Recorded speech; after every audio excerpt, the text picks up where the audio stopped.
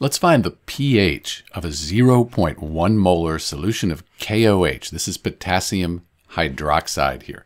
So to do this, what you need to understand is that KOH, this is a strong base. So we know it's a base because we have a metal and then we have this OH group here.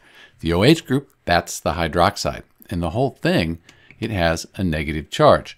Then the potassium, that has a positive charge. So we need to know that before we start trying to find the pH. Because you might want to use this equation here. pH equals the negative log of the concentration of H+, plus, the hydrogen ion. That's the H in pH.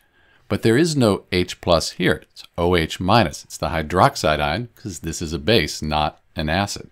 So we need to use this formula right here where we find the POH, which is the negative log of the concentration of the hydroxide ion, the OH minus. And we know that is 0.1. So we're going to take the negative log of 0.1.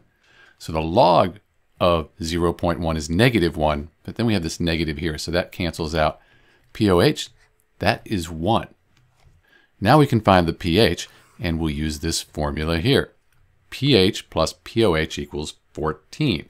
So we know that the POH is 1, so some number plus 1 gives us 14. Well, 13 plus 1, that would give us 14. So the pH of a 0.1 molar solution of KOH, potassium hydroxide, it's 13. This is Dr. B, and thanks for watching.